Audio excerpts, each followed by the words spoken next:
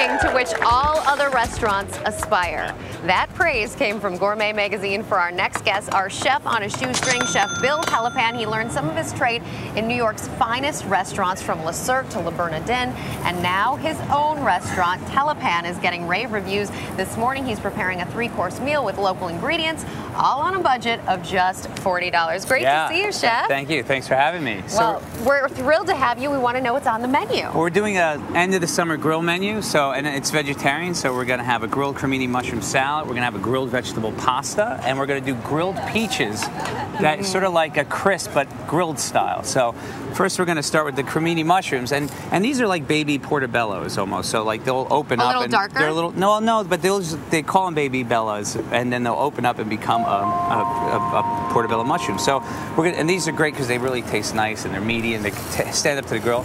And we're gonna skewer some after we marinate So them. we add some garlic to that? Garlic and chili. We got some oil, and we'll and then we'll just. I gotta work here. You gotta work a little. I gotta so- work. So you gotta start. So we'll skewer these up. A Little oil. There you go, and then we'll just toss that up. Some pepper. Do you like pepper, with Nah, it? Uh, yeah, we're gonna add some pepper to it. So go ahead. I'm creating the recipe now, Bill. So this will sit for about an hour. You skewer them up and you start grilling them. Okay. And like this here, and they'll come out really nice and soft, and, and they'll really taste nice. If you can add, if you want to do like a protein, a real meat protein, could. This salad would be great with steak. So I got some shallots, some sherry vinegar, some olive oil here. We'll mix that up for the salad. With some baby uh, spinach here. Again, you could use any kind of greens you like for that. Mm-hmm. And then we have. You mix it a- in with mix the- it in the really grilled well. stuff? And then what we're going to do is just take the skewers like this, and I can handle that because my Yeah. hands are Teflon. And you'll just, we'll put this over here. How long do you want them to sit on the grill for before Probably about like off? five to seven minutes or so. And then we're just going to take a little pecorino cheese. Again, you could use Parmesan or something, but this is a nice sharp flavor. Hands up to, uh, stands up to the, um, the grilled like uh, mushrooms because they're kind of meaty and all.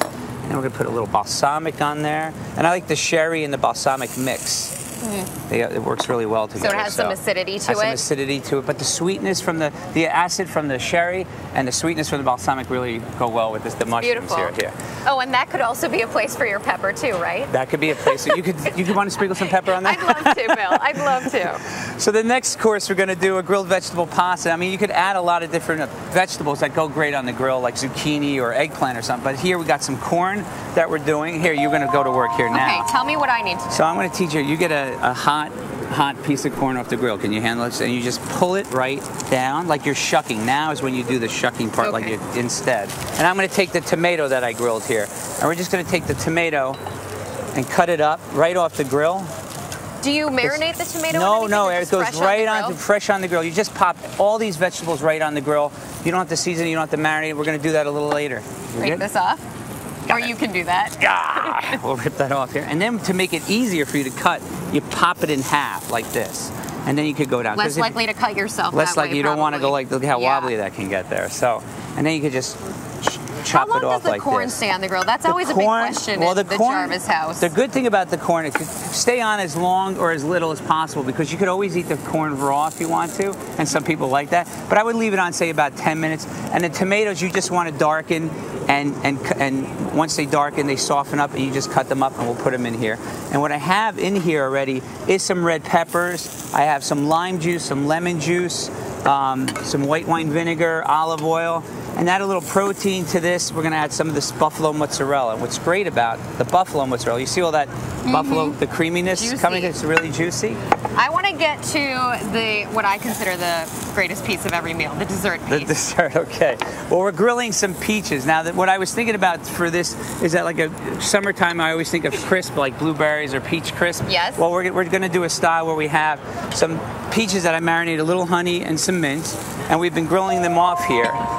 And and they take about like you know you want to darken them. If you got really ripe peaches that go really quick, and then you just put them on the just get a good grill marks on them. As we're doing this, Bill, I want to see how you And then we got stacked up some- against the other chefs because, as I understand it, we have a winner in the house today, guys. What? Oh yeah. The winner of our Chef on a Shoestring challenge. He had $40? He had forty dollars. Thirty-seven and one.